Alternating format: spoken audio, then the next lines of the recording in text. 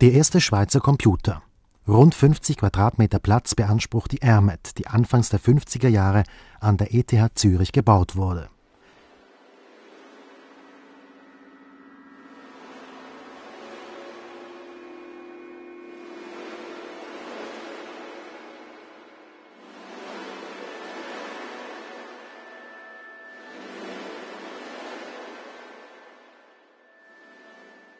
IBM 360, wo Computer noch Maschinen sind.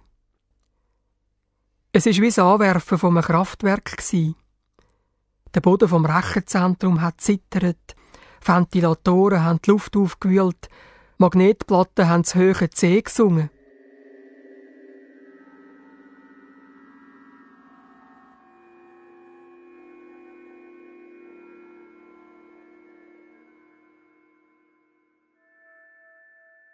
PDP-8, der erste Mini.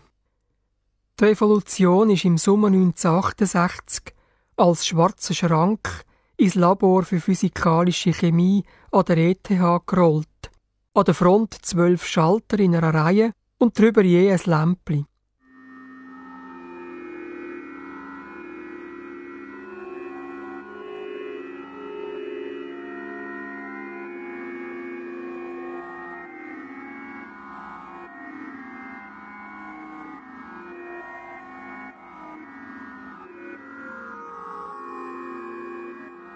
Commodore PET, das schlaue Haustier. Die erste Begegnung mit dem PET gehört für mich zu den grössten Überraschungen während der 40 Jahre, wo ich mit Computer arbeite.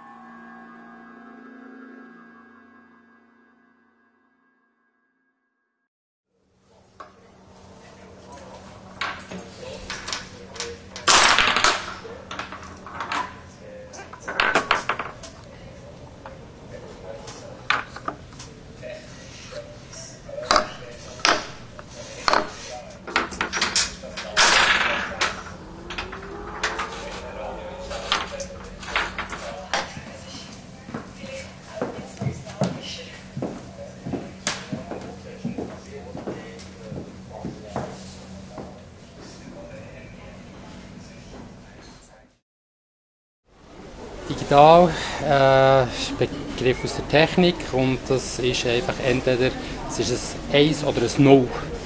Also entweder ein oder aus und das einfach in einer fast unendlichen Kette, um nachher ein Signal entschlüsseln. Zum Beispiel eine Platte oder eine Kassette eben im Vergleich zu der CD, die digital wäre. Mein Radiowecker ist digital. Meine nicht vorhandene Armbanduhr, die wäre ganz bestimmt analog. Ja.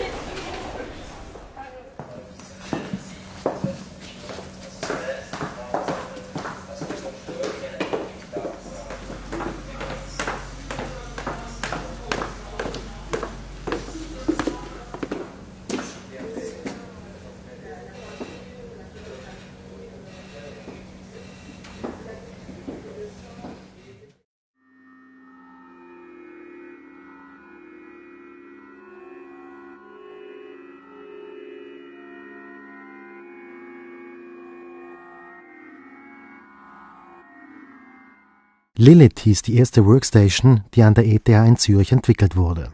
Mit ihrer grafischen Benutzeroberfläche hatte sie den damals auf dem Markt erhältlichen PCs einiges voraus.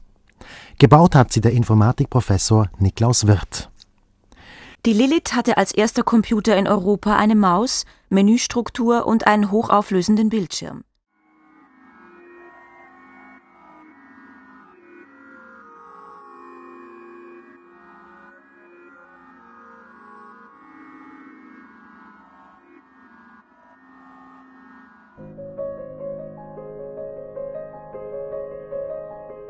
Sie sehen hier in der Ausstellung Bilder von Tontafeln, von Schriften auf Papyrus, von Pergamenten und Büchern.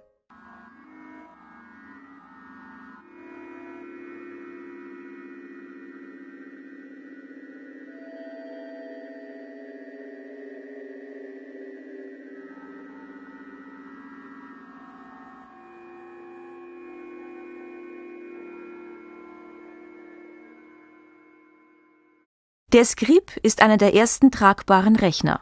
Er wurde vom Labor für Mikroinformatik LAMI der Eidgenössischen Technischen Hochschule in Lausanne EPFL für die Firma Bobst Grafik entwickelt, und zwar unter der Leitung dieses Mannes, des Schweizer Informatikpioniers Jean-Daniel Nicou.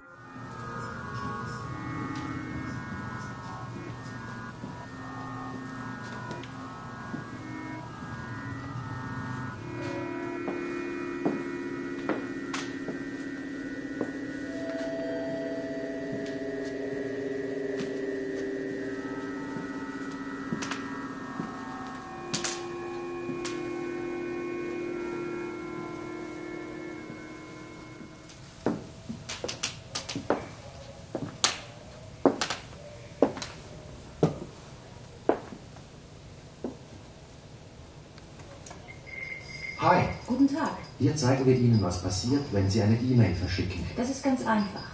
Wie ein Brief, nur elektronisch. Ein elektronischer Brief. Genau. Zuerst machen wir aber ein Foto von Ihnen, das Sie dann an den Computer nebenan verschicken können. Sie lernen so auch eine Menge übers Internet und darüber, wie es funktioniert. Genau. Jetzt aber das Foto. Schauen Sie mal ein bisschen entspannt und klicken Sie dann auf den Button unten rechts. Den Auslöser.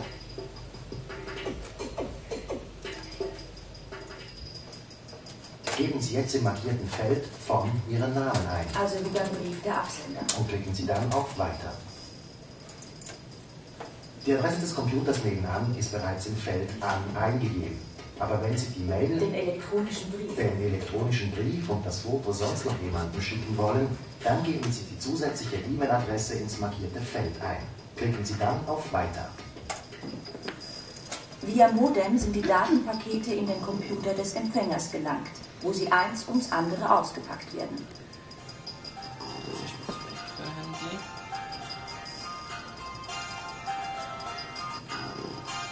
Die Nullen und Einsen werden wieder in Buchstaben und Pixel umgewandelt und auf dem Bildschirm als Text und Bild dargestellt. Und wie gesagt, in Wirklichkeit geht das alles viel schneller. Und in der kurzen Zeit, während der Sie hier Ihr Foto verschickt haben, wurden weltweit Millionen von E-Mails verschickt. Also elektronische Briefe. Genau.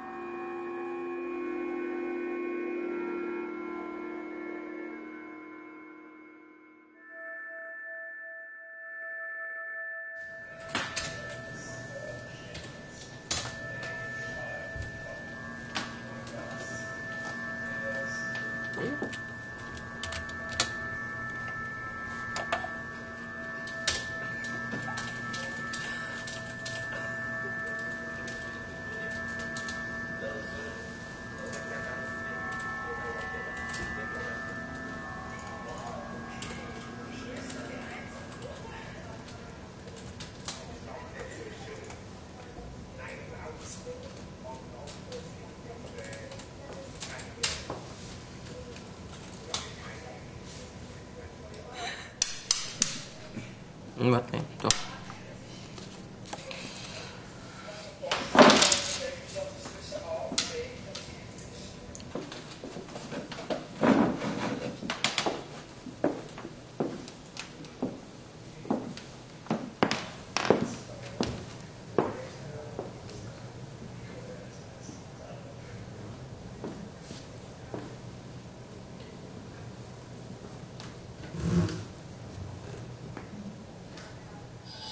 Doch. Ich bin immer noch verdruckt, vielleicht ist man noch verdruckt. Einfach mal.